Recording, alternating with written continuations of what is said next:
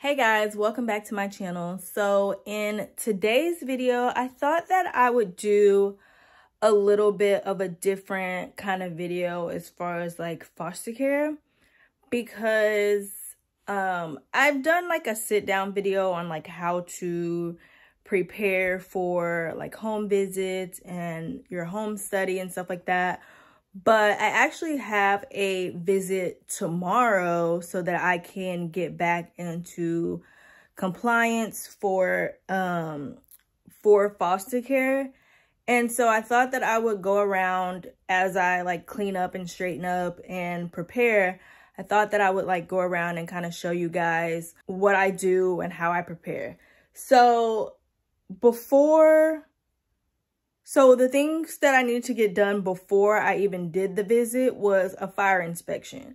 I can't say for all agencies or all states that you need a fire inspection, but for my area in Texas, I needed a fire inspection. Basically, what they check is um, your fire extinguisher, making sure it's either a new fire extinguisher or you bought a new one. I bought a new one because I couldn't find somewhere to get mine inspected.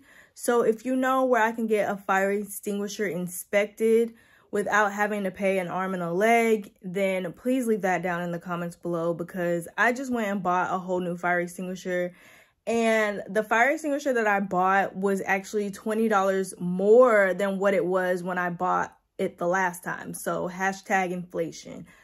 But they check your um they check your fire extinguisher then you have to go and you have to show them all of the smoke detectors and the location of your smoke detectors.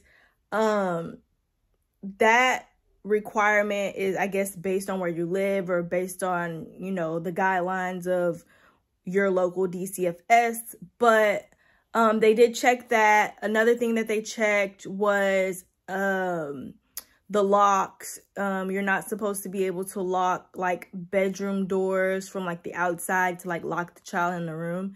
You're not supposed to be able to do that. So you can't have locks on the outside of like your bedroom doors or like your bathroom doors. And you have to be able to get in. For the doors that lock that are like inside of your house you have to be able to um lock it unlock it from the outside if they do lock. Um what else did they check? Make sure you didn't have any bars or anything on your windows. And if you do have bars on your windows, um, you have to have quick access to the key to unlock those um, those bars just in case of like a fire or anything like that. Um, trying to think of what else. I just did this yesterday, so I should know. Um, if you have a gas furnace, you have to get your furnace inspected. You can call like an HVAC place to come and look at it and they're supposed to give you a report and then you give that report to whoever is doing your fire inspection. So if you have a gas furnace, you do have to get that done before the actual fire inspection. Um, sometimes the uh, person who is going to do your fire inspection, sometimes they will give you a list on people that they recommend. What else am I forgetting?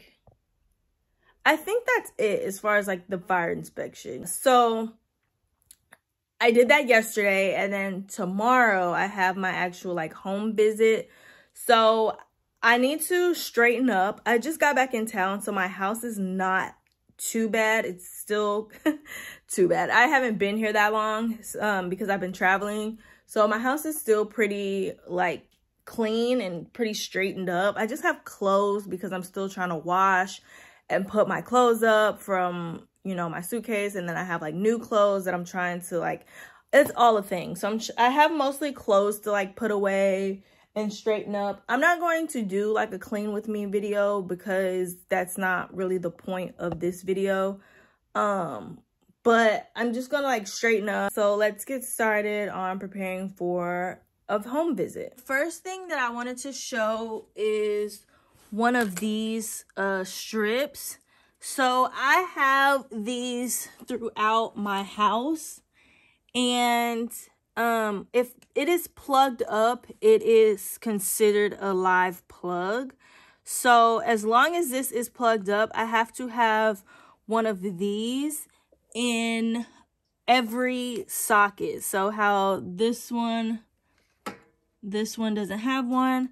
So I'm required to have to put one here. If this is unplugged, then you only need one of these for the wall socket that's over there. The next thing that I'm working on is medication storage. So medication storage, I'm just gonna show you what the lock looks like. I'm not going to show you the whole bag. This is the type of lock that I have on my medication. It is just a combination lock. Um, it only needs one lock because it's over the counter. And I tend to try to store it um, out of reach of children. I don't remember if out of reach of children is an actual requirement, if it's locked, but I just do it just because um, that just makes the most sense to me. So I just put all my over-the-counter medicine, vitamins. So I'm going to go around my house and I'm going to go find all my over-the-counter medicine because it's been a while since I've been in, um, before I, it's been a while since I've been open for foster care. So I'm sure I probably have some over-the-counter medicine laying around. So I'm just going to go through my house and, um, and gather up all my over-the-counter medicine. Um, I don't have any double locked medication out, so I don't have to worry about that. But as far as like vitamins and over-the-counter medicine, I know I have that laying around. So I'm going to just go collect that stuff and then put it up. And then we can check that one off the list. All right, so the next thing we're gonna move on to is alcohol. Alcohol needs to be stored in the highest um, place that it can be stored out of reach of children. So I typically store my alcohol and I have one right here as well. Um, I typically store these on the highest shelf in my pantry. So I'm going to just put these up. If you have any alcohol storage or like any alcohol in your fridge, you have to put it on the top uh, shelf in the fridge. If I have any alcohol in the fridge, I typically put it on the top shelf in the back um, because everything else in the front and then you have to kind of like, it makes it a little bit harder to access. Um, I don't think I have any cold alcohol right now, so I don't have to really worry about that. Um, so yeah, so with that one, oh, I need to show, I want to show you the fire extinguisher. This is the fire extinguisher that I got. There's also a brand called Kidde. Um, you need this one. So it needs to be this one, the 2A10BC. It has to be an ABC fire extinguisher and it has to be a five pound fire extinguisher. So I got this from Lowe's. And also if you have a two story house, um, or house with stairs, you need a fire extinguisher on each level. Um, for me, I just need one in my kitchen. And then, so this is the other one that I have. I'm just going to put this one in the laundry room where my washer and dryer are. And I'm just putting it there just because I feel like that's just like the next place um, I could have a fire besides the kitchen. Um, so I'm just gonna put this in the um, in the laundry room. I do have a fire extinguisher in my garage, so um, I feel like I'm well prepared, but I don't wanna have to keep buying these. If you have somewhere or you know somewhere where I can get a fire inspection, please let me know. Um, and if it's cheaper than $60, let definitely let me know because fire extinguishers have gone up. It was not $60 the last time I bought one the this one was $40 and the new one that I just bought that's right there was $60. So I don't want to have keep paying $60. All right, so the next place that I'm going to focus on is I'm going to wash my dog bedding. Um, that's not a requirement per se, but they want you to have like a clean pet area um, you don't want your house to smell like dog or dog excrement. Um, so I just like to wash their bedding. My dogs have these little pads and then I also have like um, dog towels and dog blankets. So I'm just going to throw those in the washing machine just so that they can smell fresh and be all nice and fresh. My dogs don't spend a lot of time in their crates. Um, but we they have blankets literally all over my house. So I'm gonna go collect those and I'm going to put them in the washing machine. Uh-oh. I saw we. I was washing it. Okay. I'll wash it later. I saw we. I saw we, Mosa. I saw we. Another thing I wanted to show were cabinet locks. My cabinets are a little dirty, sorry. But anyways, um yeah cabinet lock so in here i keep like cleaning stuff and then this one is kind of like my mini indoor garage i have some like tools and plant stuff and all that stuff um but yeah like make sure your cabinets are locked in the kitchen and in the bathroom wherever you store your cleaning products and um like tools and you know things that are hazardous to children and then I have magnetic locks, so um, I keep the magnets up high, just out of child's reach. think that's pretty much it. I do need to go into the garage. I'm going to go ahead and pull out all of the baby stuff, the carrier, car seat, and things like that.